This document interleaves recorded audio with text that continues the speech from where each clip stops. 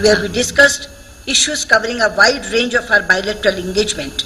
We agreed that Prime Minister Modi's historic visit in 2015, the first ever by an Indian Prime Minister to Mongolia, provided a fresh impetus to our relations and qualitatively raised the level of our engagement. We also agreed that we should make all efforts to maintain and accelerate the momentum of our interaction in all areas.